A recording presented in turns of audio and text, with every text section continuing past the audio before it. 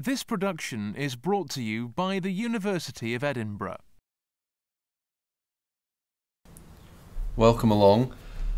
This session is all about the solutions to exercise 8, which was on using for and while loops. So question 1 part A was to write a for loop that multiplies all even numbers from 2 to 10. And what I've done for these first couple of questions is just set up a script that we're going to have all the solutions in. And you can see I've just put some comments at the top of the script and the typical clear all and CLC commands. So question one, we'll define our for loop. And now we're going to define a loop counter variable called x1. And that's going to start at 2 go in steps of 2 to 10. So that's going to contain all our even numbers between 2 and 10. Then within the body of the loop, we'll go and calculate the multiplication. So we'll call this result 1a, and that will be result 1a, which is the value on the previous iteration times our loop counter variable x1. What I'm going to do is I'm going to leave the semicolon off the end of the line just now so you can see the result printing on every iteration of the loop. So the other thing we have to do is we have to define result 1a before we use it in the loop for the first time. So above the loop we define it to equal 1. And now we're ready to run our script.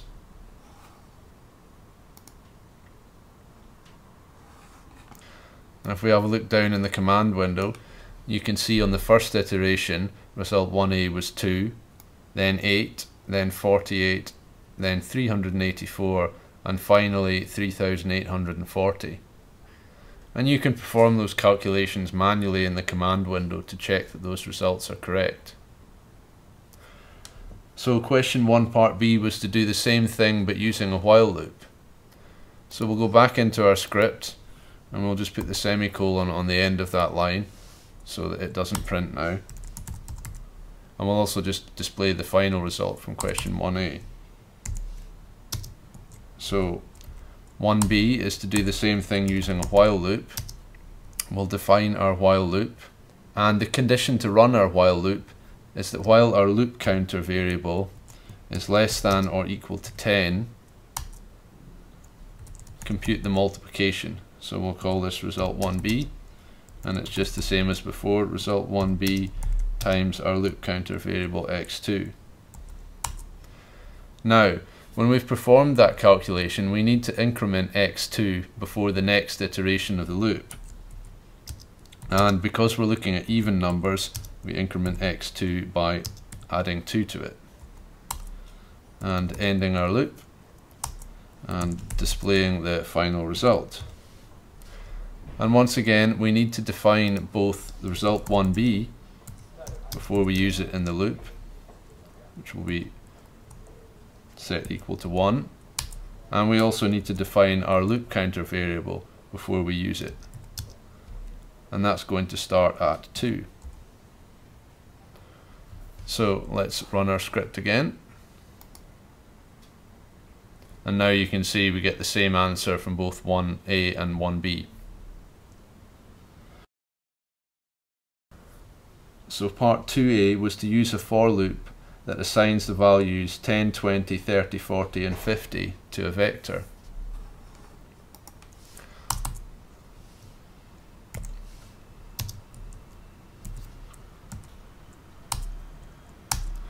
So we'll define our for loop and we'll define our loop counter variable m to range from 1 to 5. And the reason we're doing this is we're going to use m to put our values into a vector.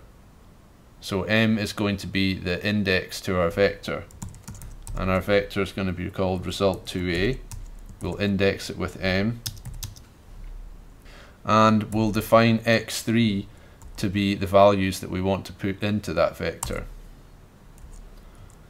We need to increment x3 by 10 on every iteration of the loop.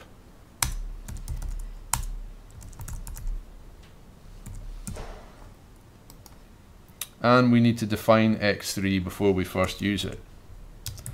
And we want it to start at 10 because 10 is the first value that's going to be in our vector. So we'll just run that again. And you can see now we're getting the values that we want in the vector. So 2b was to do the same thing as 2a but using a while loop. So our while condition is going to be while our loop counter variable is less than 50, which is the last value in our vector, compute the result, which we will also index using our variable m. And we need to increment x4 by 10 on every iteration of the loop. And when we're using the while loop, we also need to increment our indexing variable m by 1. So on each iteration of the loop, we put our new value into the next element of the vector.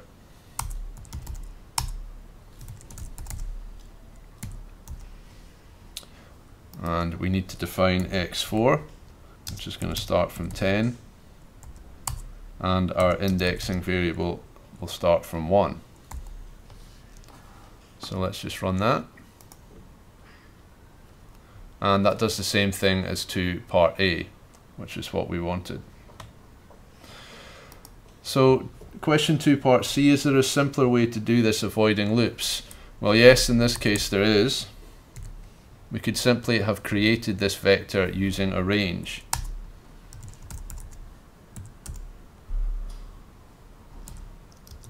a number of ways of doing that. We could have just entered the values by hand because there's not very many of them.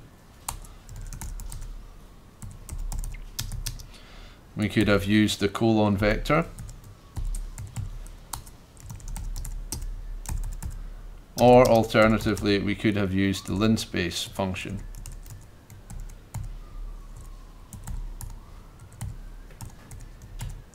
And if you run that, you'll see that they all produce the same result.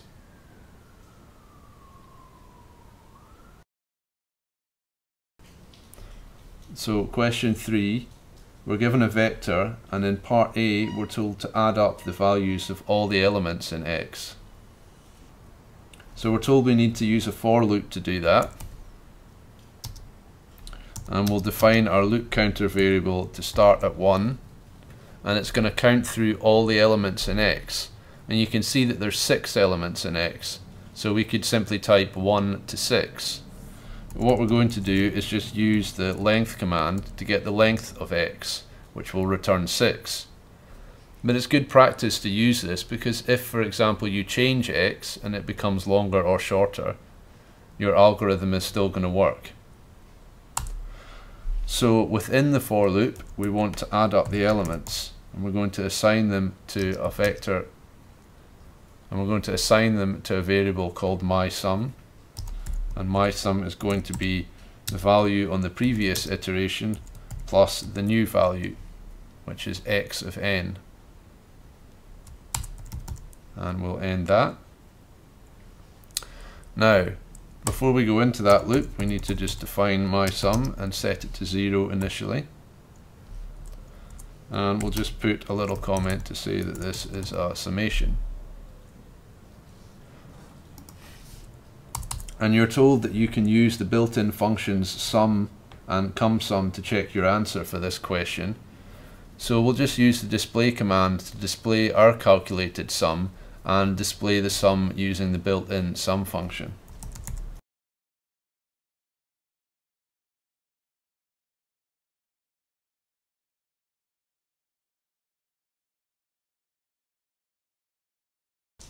And we'll just run this script now and check that we get the correct result and you can see that our summation using the for loop and the MATLAB summation using the built-in function sum both produce the same answer. So we're going to do the same thing for part B but this is going to be a cumulative sum. And again we're told to use a for loop but you can see with a cumulative sum that instead of the answer being a single scalar value, it's actually a vector of values. and you can see the result we're expecting is 1, 9, 12, 21, 21, 22. Our loop counter is going to start at 1 and go to length of x. And our cumulative sum variable, because it's a vector, I'm going to index it using our counter n. And it's going to be the sum of the previous values plus the new value. Now, you'll notice the problem that we're going to have here is if we try to run this as is, on the first iteration of the loop, our first value of our cumulative sum is going to try and access the zero element in cumulative sum, and the zero element doesn't exist. So for our cumulative sum vector, for the first value, we'll make that equal to the first value of x, and we'll start our sum from the second value in x. And as before, we're just going to copy and paste the display commands and compare our cumulative sum with MATLAB's built-in cumulative sum, which you can find with the cumsum function. So we'll run our script. and you can see we've got an error on line 27. And our problem is that we simply misspelt our variable. So we just need to go back and change that and rerun our script. And now you can see that both our cumulative sum function and the built-in one produce the same answer. This production is copyright the University of Edinburgh.